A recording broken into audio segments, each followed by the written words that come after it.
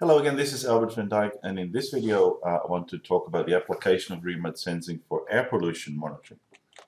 Now in the previous uh, uh video uh, uh, we went over weather forecasting and weather, uh, severe weather warning systems and in the next video we'll talk about climate research. but um, one thing that you can do with remote sensing is look at pollutants, be they for instance soot or um, other dust or whatever in the atmosphere uh, and, uh, and, and get some sense of uh, where it's coming from, where it's going, and whether there's trends in those. So to give you an example, here's an example um, image from MODIS of, uh, of part of China, and you can see the massive smog uh, going on in in in this in this image. So you see some clouds as well, of course, but all this brown stuff here is is by and large smog. And one thing you can do, of course, with imagery like that is, is looking at where it's coming from. You know, where do they the sources appear to be? Now that you can almost already see that a little bit in this image. There seems to be some some dense smoke being generated here, for instance. But of course, what you can also do is look at it over time, and you can start to track um, um, parcels of air and see, you know, where smoke is is going to and where it originated from.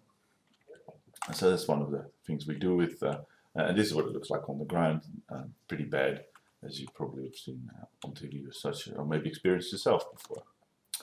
Uh, another example of air pollution, this time over India. So in, in this side you see the Himalayas and, you see the beautiful clean air, and then you see the uh, pushed up against that the uh, the uh, polluted air uh, from India, and uh, again, you know, quite a quite an amazing thing, I think. Anyway, you know, you see this massive change from from you know air that's sometimes hard to breathe. I can say from having been there uh, to to suddenly this crisp mountain air, and easy to see in this case from the space shuttle. Um, but other than taking photos of it, you of course you want to understand the, uh, the the sources and the trajectories of air pollution. That's one of the main things, and uh, in this case also, for instance.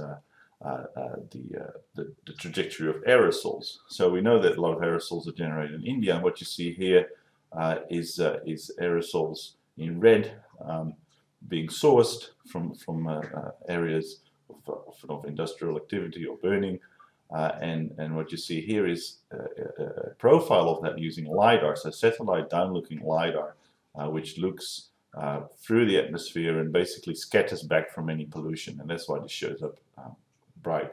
It, of course, it also scatters back from clouds, and that's why under these clouds you don't see much at all.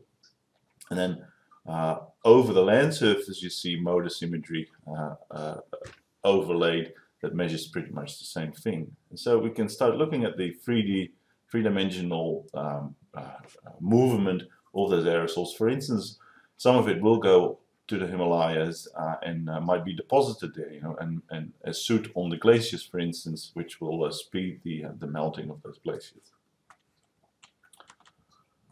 Dust storms is something we're familiar with in Australia. Uh, you might uh, recall the the big dust storm in 2009 that that put the whole of the east coast in a, in a red light, including Sydney here. and so what we can do using the imagery uh, from those days, uh, in this case geostationary imagery uh, from the MTSAT uh, uh, satellites, we can, again we can see where did that come from and where did it go and where you know, eventually where did it end up.